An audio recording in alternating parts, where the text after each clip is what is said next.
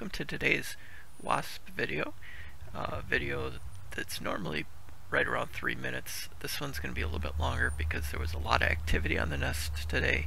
Plus, at one point I offer them a dead mayfly on the end of a stick and one of the workers grabs it.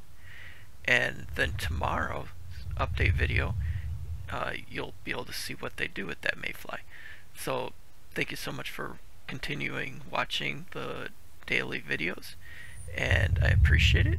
Hope to talk to you in the comments and have a great day.